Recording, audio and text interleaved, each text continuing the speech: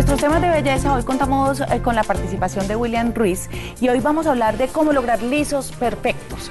Yo no sé, a las mujeres nada nos tiene contentas. Las, las crespas quieren ser lisas, las lisas quieren ser crespas, ¿sí o no? Y eso. Nos hacemos y nos hacemos cosas y en medio de tanto tratamiento, muchas veces, pues la mayoría de veces nos maltratamos, atentamos contra eh, nuestro pelo. Pues bienvenido, William, y gracias por estar acá. Mucho gusto, gracias por tener, estar en tu programa, un placer. William, sabemos que hoy por hoy existen como muchas técnicas para eh, obtener ese liso que algunas mujeres quisieran cambiar y es que yo creo que de hecho la versatilidad es algo que nos gusta mucho a las mujeres y es que hoy salir pelilisas y el otro día salir onduladas y variar digamos entre estos dos tipos y los intermedios es algo que nos gusta muchísimo, pero cómo recurrir digamos a ese liso sin tener que atentar contra el cabello, que era algo que exponía Lucero. Bueno, ahorita estábamos tratando de, de ver las opciones y para qué tipo de cabellos, también la asesoría es muy bueno tener una buena asesoría y, obviamente em, aportar, estudiar muy bien el cabello para poder asesorar y, ir a un eh, procedimiento adecuado para hacer lo que tú quieres en, tu cabello, o sea, llegar a un buen resultado.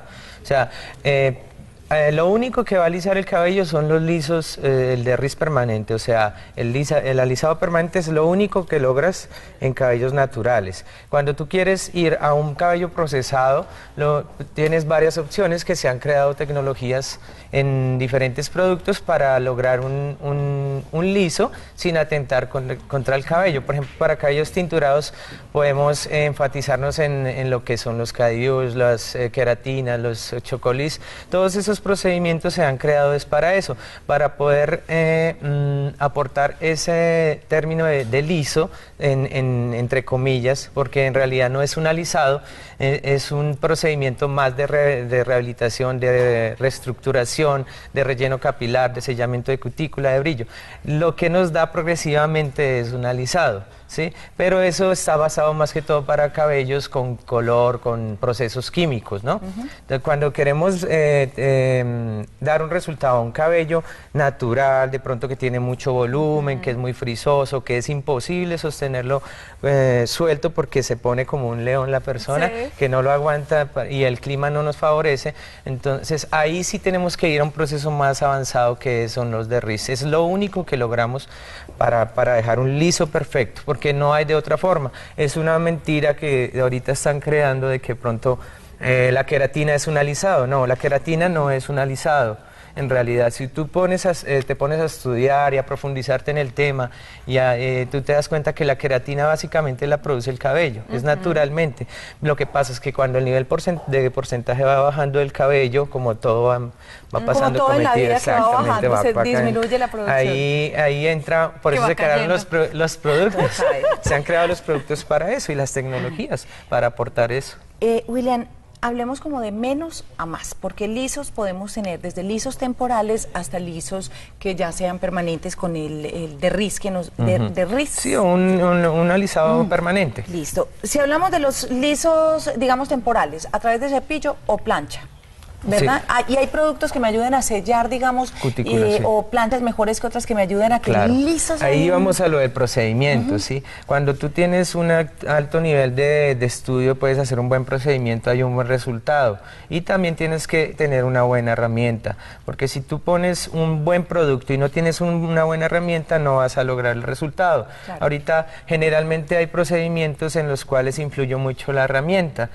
por ejemplo, hay un un procedimiento que si no es con una plancha especial, de un teflón especial, no te va a dar el resultado. Así como la polarización, Como la repolarización, como cauterización molecular, todo eso influye una buena plancha, un buen producto, o sea, una buena herramienta de trabajo y un buen procedimiento también, ¿no? Porque ahí es donde entramos a influir en, el resultado. Si tú quieres tener un liso temporal, aplicas un buen producto de sellamiento de cutícula que te rellene, que te dé fibro, que te dé brillo, que digamos puede ser eh, una queratina, ¿sí? Entonces eh, aportamos el procedimiento con la herramienta adecuada y nos da un liso temporal con la opción de recuperar otra vez el estado natural del cabello.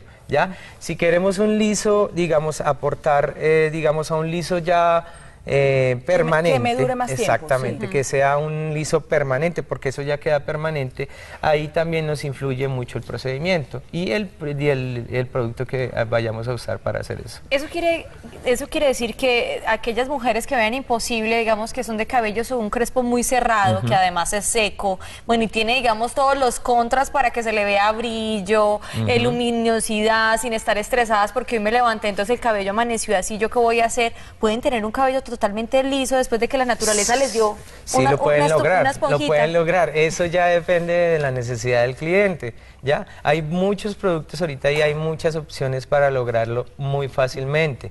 Lo que pasa es que no hay capacitación. ¿Sí me entiendes? ¿Qué pasa? Cuando no hay capacitación, la gente se empeña y se cierra en, un, en una sola cosa dice que la, que la queratina te daña el pelo, o la otra es que el alisado tumba el cabello. En realidad no... Si que uno tiene por moda y que el otro no. Porque es que vea, hoy salís que la escoba japonesa, la escoba marroquí, la escoba brasileña. Sí, y todo es lo mismo. Que el derriz, el chocoliz, el no sé qué, eh, todo es lo mismo. Todo es lo mismo. Lo que pasa es que es basado eh, en, lo, en, el componente que tú quieras poner. Si tú quieres poner proteína, lípidos, aminoácidos, o si vas a frutas o, o semillas, aceites vegetales, todo lo que tú quieras combinar con la queratina. ¿ya? Ahorita lo permitido que es, el, si tú vas a un salón y preguntas, eh, sí, la respuesta que, yo, que tú me preguntaste, sí. es posible hacerlo, sino que la única forma para un cabello de esos es el procedimiento y el producto que se ponga, pero sí es posible No, y el especialista, eso está clarísimo. claro. Sí, claro, porque por ejemplo ahorita los permitidos son los que tienen gluco, tioglicolípidos y ácido hialurónico son los permitidos ahorita en queratina, hablando en queratina, en todo lo que son chocolis, la escoba, todos son productos igual de la misma familia. Lo que pasa es que se han cambiado porque relativamente eh, hubo accidentes por los malos procedimientos. Entonces... Es que hay mujeres que, por ejemplo, dicen, no, es que yo quedé feliz con la primera alisada. La segunda también, pero empecé a notar que el cabello como que se fue volviendo mucho más débil. Entonces que dice, no, me tumbaron el pelo, pues con el segundo, el tercero. Es, ahí mal es procedimiento. Donde, mal procedimiento, de pronto mala herramienta también, porque en realidad si nosotros tenemos, eh, aprendemos a, diferenciar entre una teflón de turmalina y un teflón de titanio, que el teflón de turmalina es para los cabellos más sensibilizados, para que no se rompa la fibra capilar al momento de cauterizar. Es, eh, ahí ya vas a entender que si de pronto el mal procedimiento es el que nos va a llegar a ese, el mal cuidado también. Si no tenemos un adecuado champú, un baño, o sea, un champú libre de sulfato y un acondicionador que aporte queratina y mantenga el producto en el cabello, no vamos a lograr un buen resultado. Pues, William, yo te escucho hablar y, escuchando tantos tratamientos que hay en el mercado, tantas opciones, además que prometen el oro y el moro, que normalmente lo que uno encuentra en tantos tratamientos, yo creo que lo más importante a la hora de tomar esta decisión es estar bien asesorado, o sea, en el lugar indicado, que por supuesto sean los especialistas y por supuesto los elementos, digamos, con los componentes indicados que no terminen entonces queriendo un liso perfecto en un acabado perfecto.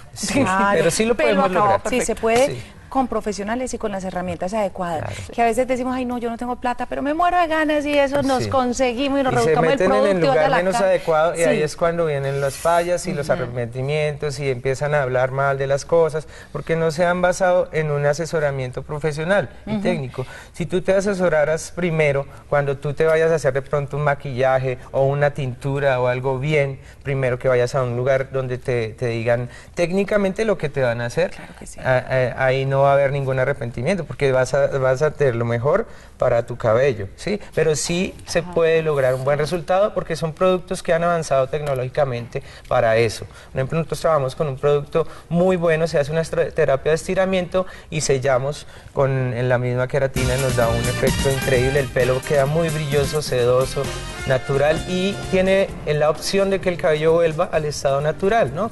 Ya los cabellos que son muy, muy, muy inflados, ya muy secos, muy porosos, que tienen mucho frizz, es normal que los cabellos sean así secos. Por eso lo que necesitan es aportar mucho, mucho brillo y mucha nutrirlos, exacto. William, muchísimas gracias por acompañarnos. Para mí es un, muy un placer. Gracias a ustedes por invitarme. Bueno, y ahora cambiamos de tema. Saben, a propósito que todos, eh, o los datos de cómo encuentran a todos los invitados del programa aparecen terminando el programa. En el Facebook de las Tres Gracias también los publicamos eh, todos los días para que encuentren a los invitados que nos acompañan. ¿Qué tal si nos vamos con el siguiente tema? ¿Usted tiene mascota? Eh, sí. ¿Cómo se llama tu perrito? Tato. Tato. Bueno, pues, ¿y sabe cómo alimentar bien a Tato? Mm, mm, no, va más que es que el, alimento es tan importante porque cuando uno no le da lo que es, terminan haciendo hasta... Sí, sí, pero alimentación para mascotas es el tema que sigue a continuación en las tres